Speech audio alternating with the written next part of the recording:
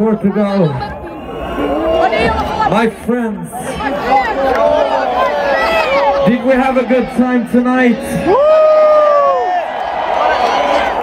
I'm glad you feel that.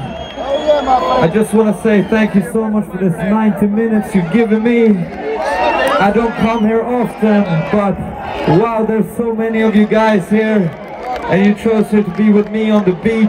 I just want to say one big fucking thank you so much from the bottom of my heart. Thank you so much. And uh,